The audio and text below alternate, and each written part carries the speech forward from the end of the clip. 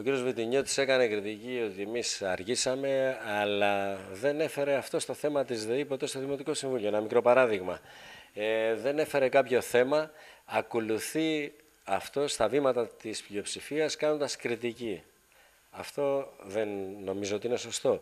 Εγώ μπορώ να πω ευθαρσώς ότι η Δημοτική Αρχή, η πλειοψηφία, ε, πιέστηκε, με καλή έννοια πιέστηκε, από τους ενεργούς πολίτες που υπάρχουν στην πόλη μας και μπράβο και οδηγήθηκε σε δύο δημοτικά συμβούλια κάτω από την πίεση των ενεργών πολιτών και όχι από την πίεση της μειοψηφίας και του κ. Βιτινιώτη.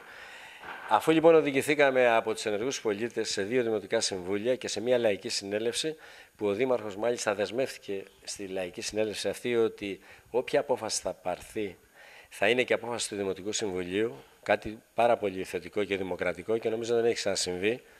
Ήρθε ο κύριος Βιτινιώτης λοιπόν να μας πει ότι η Δημοτική Αρχή σέρνεται. Τι σέρνεται, η Δημοτική Αρχή δεν είναι και αυτή ένα κομμάτι των πολιτών. Τι είναι δηλαδή, δεν το καταλαβαίνω.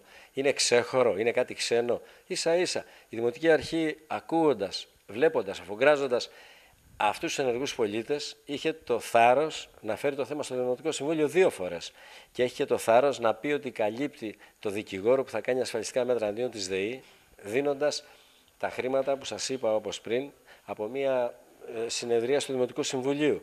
Τι άλλο να κάνει η Δημοτική Αρχή, όταν υπάρχουν δίπλα δημοτικές αρχές, όμορες, οι οποίες δεν έχουν κάνει ούτε ένα ΔΣ, δεν έχουν πάρει καμία απόφαση για το χαράτσι και για τα μέτρα.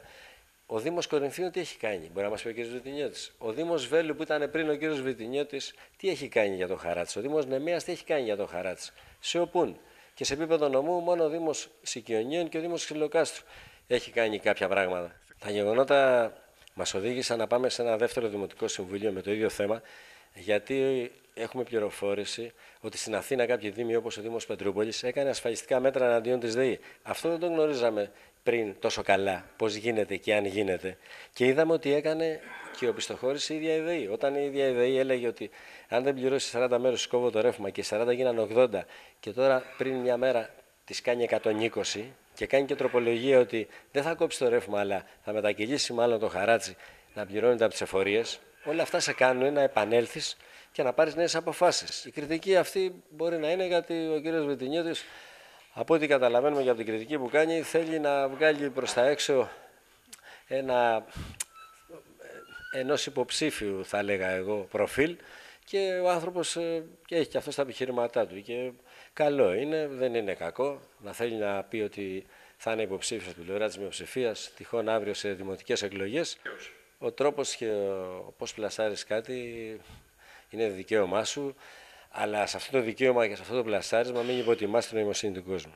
Έχει καταλάβει ο καθένας τι κάνει, πώς το κάνει, πού είναι παρόν, πού είναι απόν, σε τι κοινωνικούς αγώνες συμμετέχει, σε τι συλλόγους συμμετέχει, τι δράση έχει. Δεν υποτιμάμε ποτέ τον κόσμο. Ε, δεν γνωρίζω, δεν υπάρχει κάτι κρυφό. Ό,τι κάνουμε το κάνουμε ανακοινώσεις, το γνωρίζουν όλοι. Νομίζω ότι δεν μπορώ να αμυνθώ εγώ ή να υπερασπιστώ αν τον ενημερώσαμε ναι ή όχι, συγκεκριμένα τον κύριο Βετινιώτη. Εμείς κάνουμε λαϊκές συνελεύσεις. Ανοιχτές για όλο τον κόσμο. Ήταν δυνατόν να μην καλούσαμε τον κύριο Βετινιώτη ή τον κάθε δημοτικό σύμβουλο. Είμαι ένας ενεργός πολίτης, είμαι δημοτικός σύμβουλος, συμμετέχω ενεργά δυνατά. Όποιος θέλει να έρθει εκεί, στις μάχες θα γίνουν και λάθη, θα γίνουν και κάποια πράγματα που μπορεί να θέλουν βελτίωση. Ε, ζητάμε έναν ενεργό πολίτη, είτε είναι δημοτικός σύμβουλος, είτε είναι κάτοικος του Δήμου μας. Εμείς θέλουμε συμμετοχή, συμμετοχή. Νομίζω δεν συμμετέχουν στο βαθμό που θα έπρεπε. Εγώ δεν έχω δει στους ενεργούς πολίτες κάποιους από τη μειοψηφία και νομίζω ότι ε, καλό, αντί, καλό θα είναι να μην κάνουμε κριτική, αλλά να κοιτάμε να βοηθήσουμε και να, να είμαστε ενεργοί πολίτες. Αυτό που σας είπα πριν. Τα προβλήματα είναι εδώ και τρέχουν. Εντάξει, ακόμα έχουμε ένα χρόνο. Έχουμε μπροστά μας να κάνουμε τόσους αγώνες. Μακάρι να, από αύριο να είναι μαζί μας. Μέχρι στιγμής, πώς είναι Μέχρι στιγμής νομίζω ότι κάνουν μια κριτική μόνο μέσα από τα δημοτικά συμβούλια. Η μειοψηφία. Η μειοψηφία ενεργά δεν βρίσκεται πουθενά.